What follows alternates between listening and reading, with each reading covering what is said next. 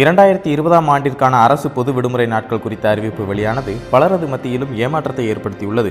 வரும் இரண்டாயிரத்தி இருபதாம் ஆண்டில் மட்டும் சுமார் இருபத்தி மூன்று விடுமுறை நாட்கள் உள்ள நிலையில் இவற்றில் ஏழு விடுமுறைகள் வார இறுதி நாட்களில் வருகின்றன. மூன்று ஞாயிற்றுக்கிழமைகள் நான்கு சனிக்கிழமைகளில் பொது விடுமுறைகள் வருவது அலுவலகத்தில் வேலை செய்வோரிடையே பெரும் வருத்தத்தை ஏற்படுத்தியுள்ளது. அதே சமயம் வெள்ளிக்கிழமைகளில் ஆறு பொது விடுமுறைகள் வருவதால் சனி மற்றும் ஞாயிறுடன் சேர்த்து மூன்று விடுமுறை நாட்கள் கிடைப்பது வெளியூர் வாசிகளுக்கு ஏதுவாக அமைந்துள்ளது.